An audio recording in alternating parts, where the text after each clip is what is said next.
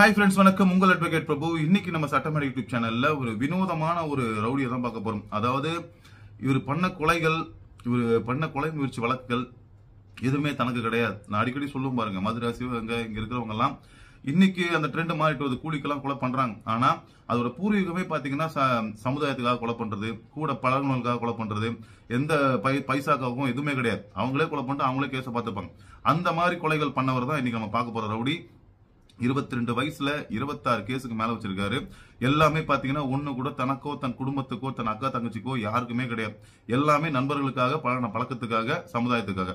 எந்த ஒரு கெட்ட பழக்கமும் கிடையாது. இந்த காலத்துல இன்னைக்கு ரவுடிங்களுக்கு கெட்ட பழக்கம் இல்லைன்றது பெரிய விஷயம். ஏன்னா பயத்துல தூங்கவே முடியாது. எவன் எப்போ வருவான்? ரவுடிங்க வருவாங்களா? பழி வாங்க வருவாங்களா? இல்ல போலீஸ்காரங்க வந்து புட்டா போட்டு தூக்கி போவாங்களான்னு சொல்லி அதனால எந்த ஒரு கெட்ட பழக்கமே இல்ல. சிகரெட்டோ கஞ்சாவோ எந்த ப- தப்பான வழக்கங்களோ எதுவுமே கிடையாது ஒரு ரவுடி.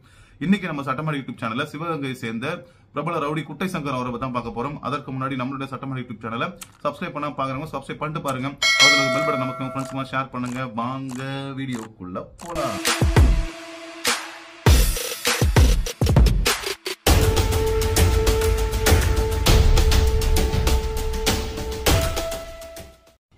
முதலாவதாக பாத்தீங்கன்னா யார் இந்த குட்டசங்கர் எந்த ஏரியாவை சேர்ந்தவன் பாத்தீங்கன்னா சிவகங்கை மாவட்டம் மானாமதுரை என்ற இடத்தில் போஸ்ட் ஆபீஸ் தெருவில் பூமிநாதன் போதும் பொண்ணு அப்படிங்கிற த- தம்பதிகளுக்கு இளைய மகனாக பிறந்தவர் தான் இந்த சங்கர் என்கிற குட்டசங்கர். பிறந்தது பாத்தீங்கன்னா பதினெட்டு ஆறு ரெண்டாயிரத்தி ஒன்னு. கூட பிறந்தது இரண்டு அக்கா. படிச்சது ஓவிசி மேல்நிலைப்பள்ளி மானாமதுரை. டுவெல்த் வரைக்கும் தான் படிச்சிருக்கிறாரு. ஒரு நல்ல கபடி பிளேயரு நல்ல கபடி பிளேயரா இன்னைக்கு ஒரு ஸ்டேட் பிளேயராக இன்டர்நேஷனல் லெவல்ல போயிருந்திருப்பாரு. ஆனா கத்தி எடுத்த காரணத்தினால ஒரு லைஃப் எப்படி மாறி இன்னைக்கு எப்படி ஒரு அப்ஸ்கான் லைஃப் வாழ்ந்துருக்காருன்னு பாருங்க. இவர் குள்ளமா இருக்கிறதுனால இவருடைய சின்ன பசு வயசுல வந்து குட்ட குட்டா குட்டான்னு சொல்லி சொல்லி குட்டசங்கர்னு ஒரு பேர் வந்துருச்சு. தேவ சமுதாயத்தை சேர்ந்தவர் இவர். ரெண்டாயிரத்தி பதினெட்டுல பாத்தீங்கன்னா மாரியம்மன் கோயில் அருகே கபடி விளையாட்டு இருக்கும் போது தன் நண்பர்கள் மணி அஜய் அவங்கள வந்து ஒருத்தவங்க அடிச்சிடுறாங்க. அதனால அவரை போய் வெட்டுறாரு. மானாமதுரை டவுன் ஸ்டேஷன்ல கொலை முயற்சி வழக்கு பதியப்படுது. திருநெல்வேலி சிறார் ச- சீர்திருத்த பள்ளியில சிறுவர் சீர்திருத்த பள்ளியில் அடைக்கப்படுறாரு. இருபத்தஞ்சு நாள் கழிச்சு வெளியே வராரு. அடுத்து மானாமர டவுன் ஸ்டேஷன்ல நிறைய புட்டப்ப போட்டு போட்டு திருநெல்வேலி சிறு சிறுவர் சிறுத்த பள்ளிக்கு அடைக்கிறாங்க. இங்க இருந்தா வேலைக்கு ஆகாது. நம்மள சின்ன வயசுல காலி பண்ணுவாங்கன்னு என்ன பண்றாரு? கோயம்புத்தூருக்கு போய் தன் நண்பர் கவா அப்படிங்கிறவரோட சேர்ந்து தங்குறாரு. அப்போ இது ஒரு நாள் என்ன ஆகுதுன்னு பாத்தீங்கன்னா கோவை புதூர் அப்படிங்கிற ஒரு இடத்துல கவாவை பேக்கரியில வச்சு ஒரு கும்பல் அடிக்கிறாங்க. சங்கர் என்ன பண்றாரு? தனி ஆளா போய் நாலு பேரை வெட்டுறாரு. எஸ்கேப் ஆகுறாரு. கவா மாட்டிக்கிறாப்ல கோவை புதூர் போலீஸ் ஸ்டேஷன்ல கவா மாட்டிக்கிறாரு. கவா மாட்டினோன்னு ஐயோ தன் நண்பன் மாட்டிக்கிட்டாரு. நம்ம அப்படி எஸ்கேப் ஆகி போக கூடாது அப்படின்னு சொல்லி என்ன பண்றாரு? ஃப்ரெண்டுக்காக என்ன பண்றாரு? இவரும் ஸ்டேஷன்ல போய் ஆஜராகிறாரு. கோயம்புத்தூர் சிறுவர் சீர்திருத்த பள்ளியில் அடைக்கப்படுறாரு. பதினஞ்சு நாள் கழித்து வெளியே வருகிறார். சொந்த ஊரான மானாமதுரைக்கு வராரு. இரண்டாயிரத்தி பத்தொன்பதாம் ஆண்டு ஜனவரி மாதம் மானாமரை டவுன் போலீஸ் சங்கர் ரஞ்சித் மணி மூணு பேரையும் பிடிச்சி என்ன பண்றாங்க? சும்மா இருந்தவங்கள சும்மா இருந்தவங்கள மூணு பேரை முடிச்சு கத்தி வச்சிருந்தாங்கன்னு சொல்லி ஒரு புட்டப்பு ஆம்ஸ் ஆக்ட்ல போட்டு நெல்லை சதா சீர்திருத்த பள்ளியில திருப்பி அடைக்கப்படுறார் பதினேழு நாள் கழித்து வெளியே வருகிறார். அடுத்து பாத்தீங்கன்னா செப்டம்பர் இரண்டாயிரத்தி பத்தொன்பதுல கிருஷ்ணானந்தபுரம் அப்படின்ற ஒரு இடத்துல இவர் சமுதாயத்தை சேர்ந்த தேவ சமுதாயத்தை சேர்ந்த சில பேர் போஸ்டர் ஓட்டுறாங்க.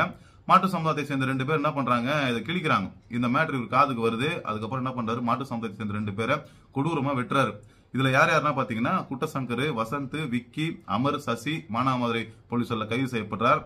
சங்கர சிவகங்கை ட- டவுன் ஸ்டேஷன்ல புட்டப்ப போட்டு என்ன பண்றாங்க போலீஸ் ச- சங்கர் காலை உடைக்கிறாங்க இந்த மேட்டர்ல. மதுரை மத்திய சிறையில் அடைக்கப்படுறாரு இப்பதான் அவருக்கு வயசு வயசு வந்து பதினெட்டே ஆகுது. அதாவது பாத்தீங்கன்னா வசந்தும் வ- வசந்துக்கும் குண்டாஸ் போடுறாங்க இந்த மேட்டர்ல.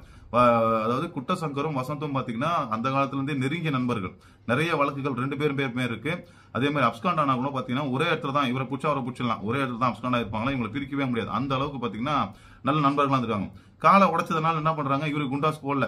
வசந்துக்கு மட்டும் குண்டாசை போடுறாங்க. இருபது நாள்ல ஜாமீன்ல வெளியே வரார் சங்கர். கொஞ்ச நாள்ல பாத்தீங்கன்னா வசந்தும் குண்டாசை உடைச்சிட்டு வெளியே வந்துறாரு கொஞ்ச நாள்லயே. சிறையில் இருக்கும்போது பாத்தீங்கன்னா சங்கரின் பெரியப்பா மகன் அதாவது அவரோட அண்ணன் திருப்புவனம் எம்ஜிஆர் நகரை சேர்ந்த ஹரி என்பவரோடு மிதுன் அப்படின்ற ஒரு வைக்கிறாங்க மிதுனும் சங்கரும் சிறையில் தான் பழக்கம் ஏற்படுகிறது. சங்கர் மிதுனை வசந்த் ஹ- ஹரியிடம் பார்த்து கொள்ளுங்க அப்படின்னு சொல்லி சொல்றாரு. ஹரி கிட்ட சொல்றாரு இந்த மாதிரி வசந்தையும் மிதுனையும் பாத்துங்கன்னு சொல்றாரு. சங்கர் மட்டும் தனியா போறாரு. இந்த நேரத்துல தான் பாத்தீங்கன்னா சங்கரின் அண்ணன் ஹரி என்ன பண்றாரு? அவருடைய நண்பர் ஒட்ட ஓட்ட கணேஷ் அப்படின்ற ஒரு கொலைக்கு பதில் சம்பவமாக ஒருவரை ஒருவரை கொலை செய்யறாரு கொலை செஞ்சுட்டு மதுரை மத்திய சிறைகளை அடைக்கப்படுறாரு. சிறையில் இருக்கும்போது பாத்தீங்கன்னா வசந்துக்கு பனங்காடி ராயசேகர் கொலையில் கைதான மைனர் மணி என்பவருடன் பழக்கம் கிடைக்குது. பொங்கல் நேரம் வருது. சங்கர் என்ன பண்றாரு? பசங்களுக்கு எல்லாத்துக்குமே துணி எடுக்கணும்னு சொல்லி மதுரைக்கு போறாரு. ஜனவரி ஆறு ரெண்டாயிரத்தி இருபத்தி ஒன்னு அன்று பாத்தீங்கன்னா மிதுன் அருள்நாதன் என்கிற மைனர் மணி வினோத்தனன் வசந்த் பூச்சி இளப்பன் ஆகாஷ் பொன்னையன் தமிழா மிக்சர் என்கிற ராஜ்குமார் எல்லாரும் என்ன பண்றாங்க? ஒரு இடத்துல சரக்கு அடிக்கிறாங்க. போதை உச்சியில ஏறுது. நீ பெரிய ரவுடியா நான் பெரிய ரவுடியான்ற போட்டியில எல்லாரும் என்ன பண்றாங்க? மாறி மாறி அடிச்சுக்கிறாங்க. மைனர் மணி என்பவர் என்ன பண்றாரு? மித்துனை மண்டையை உடச்சிடுறாரு. மித்துனை மண்டே உடச்ச உடனே மித்துன் அழுதுன்னு என்ன பண்ணுறது குற்றசங்கிட்ட சொல்றாரு. இந்த மாதிரி தேவையில்லாம போதையில மண்டே மண்டையை உடச்சிட்டாங்க துணியே எதுவுமே எடுக்காம நேரம் டக்குன்னு சங்கர் ஊருக்கு கிளம்பி வராரு. அடுத்த ரெண்டு நாட்கள்ல பாத்தீங்கன்னா ஜனவரி எட்டு ரெண்டாயிரத்தி இருபத்தி ஒன்று அன்று கோர்ட்டுக்கு வந்து மைனர் மணியும் வினோத் குரனும் வராங்கன்றதை ரூட் எடுத்துட்டாங்க. அதன்படி பாத்தீங்கன்னா அன்று இருவரையும் கொடூரமாக இரு அந்த அன்னைக்கு மாட்டினாங்க. மாட்டின்னு ரெண்டு பேரும் கொடூரமா வெட்டுறாங்க. மைனர் மணி ஸ்பாட்ல இறந்துடுறாரு. வினோத் கரனை செத்துட்டாருன்னு நினைச்சு விட்டு போயிடுறாங்க. ஆனா அவரு உயிர் பொழைச்சிக்கிறாரு. அதாவது ஒரு கொலை ஒரு கொலை முயற்சி வழக்கு பதியப்படுகிறது. மானாமரை ஸ்டேஷன் வழக்கு பதியப்பட்டு இந்த வழக்கில் யார் யாரெல்லாம் இருக்காங்க பாத்தீங்கன்னா குட்டசங்கர் வசந்த் மிக்சர் என்கிற ராஜ்குமார் சங்கரின் இன்னொரு பெரியப்பா மகன் நந்தகோபால் மித்துன்னு மூர்த்தி ஆனந்த் என்கிற பொங்கல். ஆகியோரை போலீசார் தேடுறாங்க. சங்கர் வசந்த் மித்துனு மிக்சர் என்கிற ராஜ்குமார் முதுகுளத்தூர் கோர்ட்ல போய் ஆஜராகிறாங்க ராம்நாடு சிறையில் அடைக்கப்படுறாங்க. சிறையில் மைனர் மணியின் கூட்டாளியான ஆகாஷுடன் மோதல் ஏற்படுது. சங்கரை பார்த்து வெளியே வந்தோன்னு போட்டுருவான் அப்படின்னு இப்படின்னு வாய விடுறாப்புல உடனே ஆகாஷ் அடிக்கிறாரு. சங்கரை கமாண்ட் அடிச்சு மதுரை மத்திய சிறையில் அனுப்புறாங்க.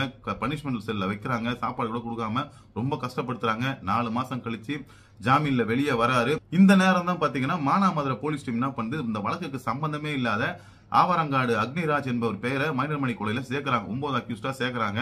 இதனால மைனர்மணி ஆதரவு என்ன பண்றாங்க? சிறையில இருந்து எப்ப வெளியே வருவாருன்னு காத்து நிக்கிறாங்க கரெக்டா இவர் தான் ஃபர்ஸ்ட் அக்னிராஜ் தான் ஃபர்ஸ்ட் வெளியே வராரு. இவர் வந்து ஒரு மதுரை லா லா படிச்சுட்டு இருக்க லா ஸ்டூடெண்ட்னால வெளியே வந்துட்டார். வெளியே வந்து கண்டிஷன்ல சைன் போட்டிருக்காரு. எப்ப வெளியே ஒரு வாரம் காத்துனது மைனர் மணியோட டீம் கரெக்டா பாத்தீங்கன்னா மானாமதுரை சிப்காட் ஸ்டேஷனுக்கு கையெழுத்திட செல்லும் போது பாத்தீங்கன்னா மைனர் மணி கொலைக்கு பதில் சம்பவமாக அக்னிராஜா மார்ச் அஞ்சு ரெண்டாயிரத்தி இருபத்தி ஒன்னு அன்று காலை ஒரு பத்து முப்பது மணிக்கு கொடூரமாக கொலை செய்கிறார்கள். இந்த கொலை வழக்கில் பாத்தீங்கன்னா ஆகாஷ் பொன்னையா வினோத் கண்ணன் விக்கி பூச்சி இருளப்பன் வினோத் கண்ணன் அவருடைய தம்பி தர்மராஜ் சக்தி ஆகியோர் மீது வழக்கு பதியப்படுகிறது. குட்டசங்கரும் அவருடைய ஆதரவாளர்களும் தப்பு பண்ணிட்டோமோ நம்ம பயங்கரமா தப்பு பண்ணிட்டோம் அப்படின்னு ரொம்ப ஃபீல் பண்றாங்க. ஏது மரியாதை அக்னிராஜ் இறந்து விட்டாருன்னு சொல்லி ரொம்ப மன வருத்தம் ஏற்படுது எல்லாருக்கும். இதனால என்ன பண்றாங்க? அக்னிராஜை கொலை செய்தவர்களுக்கு பதில் சம்பவம் அடிக்கணும் கன்ஃபார்மா அப்படின்னு சொல்லி அக்னிராஜ் கொலைக்கு ரிட்டர்ன் எடு எடுக்கிறாங்க. கன்ஃபார்மா ரிட்டர்ன் எடுக்கணும்னு சொல்லி முடிவு பண்றாங்க. அதே மாதிரி அக்னிராஜ் இறந்த மூணு மாதத்தில் அதாவது ஜூன் ஜூன் மாதம் அக்னிராஜ் கொலையில் ஈடு- ஈடுபட்ட கொலையாளிகளுக்கு வழக்கறிஞராக செயல்பட்டு வந்த வக்கீல் முருகானந்தம் என்பவரை அவரது ஆபீஸ்லேயே புந்து வெட்டாங்க. மானாமதுரை போலீசார் கொலை முயற்சி வழக்கு பதியப்படுகிறது. இந்த வழக்கில் பாத்தீங்கன்னா வசந்த் ஏவன் குற்றவாளியாக சேர்க்கப்படுகிறார். அருள் அலெக்ஸ் ராஜமருது சுல்லா அகில மண்ட தினேஷ் பெயர்கள் சேர்க்கப்படுகிறது. வசந்த் வசந்த் இருப்பதால் குற்றசங்கர் அவர் ஃப்ரெண்டுன்றனால என்ன பண்றாங்க குற்றசங்கர் பேரையும் வசந்த் பேர் இருக்கிறதுனால சேர்க்கிறாங்க. திருப்பூர் நீதிமன்றத்தில் சரணடைகிறாங்க. திருச்சி மத்திய சிறையில் அடைக்கப்படுறாங்க. ரெண்டு மாசம் கழிச்சு ஜாமீன்ல வெளியே வராங்க.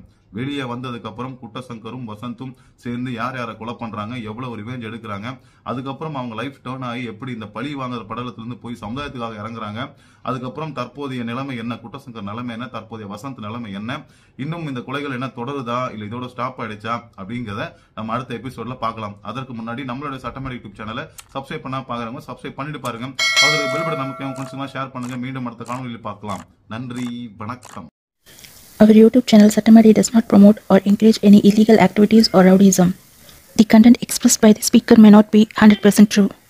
The news gathered from television, magazine, and by reading books were expressed by the speaker. The video from the channel doesn't hurt anyone personally. The speaker doesn't speak with his own thoughts and ideas. The speaker's intention is to explain the life history of dadas and rowdies to the youngster so that they will not get into their life in future. MH Prabhu BEBL advocate Madras high court நம் சட்டமேடை YouTube சேனலில் பேசப்படும் நபர்களின் வாழ்க்கை முறை சிந்திப்பதற்கே. தொலைக்காட்சி வாயிலாக பார்த்தும் புத்தகத்தில் படித்தும் பத்திரிகை செய்திகளில் கண்டதும் மட்டுமே நூறு சதவீதம் உண்மை என்று கூறுதல் இயலாது நம் சேனலில் வரும் காணொளிகள் யார் மனதையும் புண்படுத்த அல்ல பேச்சாளரின் தனிப்பட்ட கருத்தும் அல்ல. இன்றைய இளைஞர்களுக்கு தாதாக்கள் மற்றும் ரவுடிகளின் வாழ்க்கை முறையை உணர்த்தி அவர்களை நல்வழிப்படுத்துவதே எங்களது குறிக்கோளாகும். மு. இ. பிரபு பிஇபிஎல் வழக்கறிஞர் சென்னை உயர்நீதிமன்றம்.